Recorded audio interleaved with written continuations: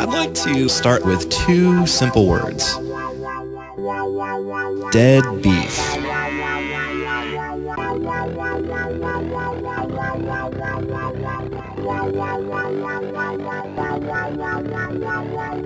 Now, if you ask any programmer that has to debug and look at memory, they're going to know exactly what you're talking about. One of the techniques we use for debugging is initializing memory in a format we can understand. Now, when I'm looking at a memory dump and I see the phrase dead beef, I know this value was written by a programmer.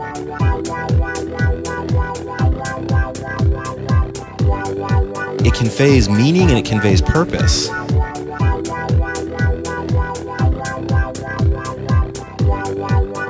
Now, really, all of software is this way. A program really just represents an idea, an algorithm, a process flow in a digital format.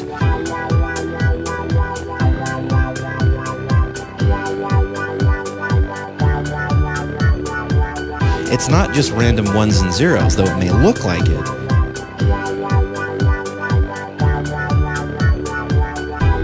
The program takes the intention of the programmer's mind and runs it, and it accomplishes something meaningful, a purpose.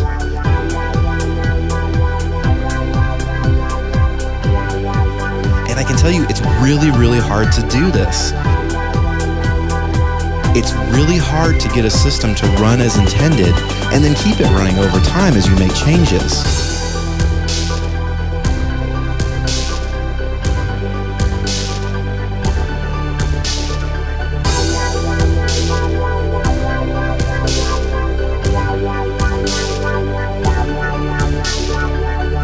Now, I'd like to compare this to human DNA.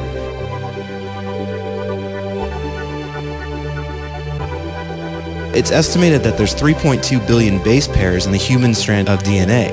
That is a lot of information. I mean, the, the DNA, it's, it's literally a 3D blueprint of how to replicate a cell. It's amazing. And it's strikingly similar to how hardware and software work. It just seems to exude design.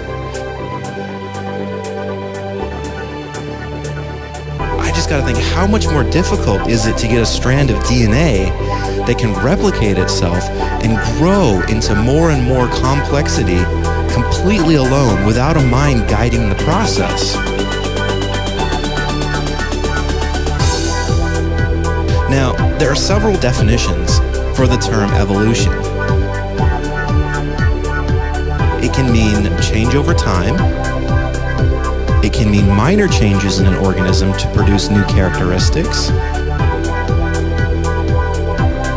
Or it can mean major changes in an organism to produce new kinds of organisms. Now, this process would fall under mutation, natural selection, or genetic drift.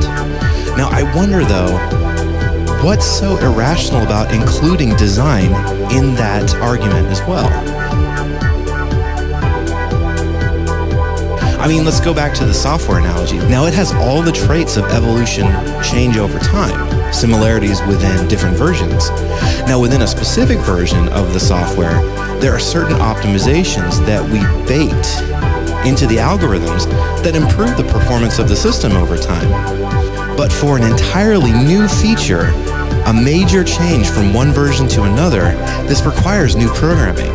It requires new information, a new design.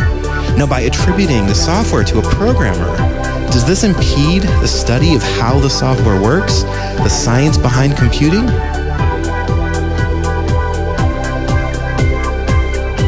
Of course it doesn't.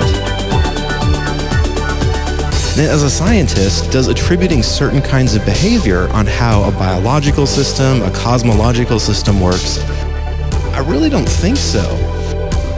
You know, I actually think as a theist, um, you really have more options available to you. there are many more different kinds of theories you can explore, and you can continually examine the evidence and decide if something is changing by unguided process or if there appears to be a guiding mind behind something. It really just opens the door up to more possibilities.